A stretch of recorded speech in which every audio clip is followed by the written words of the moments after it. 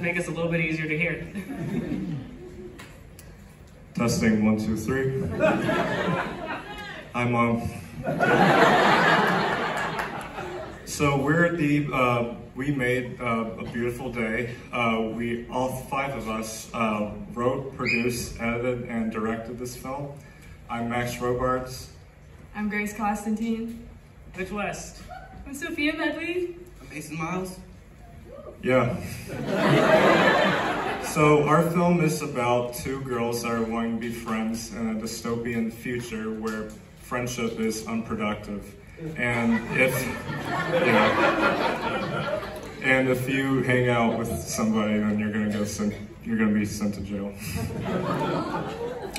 Uh, so we hope that you guys um, enjoy it. Um, we hope you laugh. We hope you cry. But mainly, we hope you have a good time.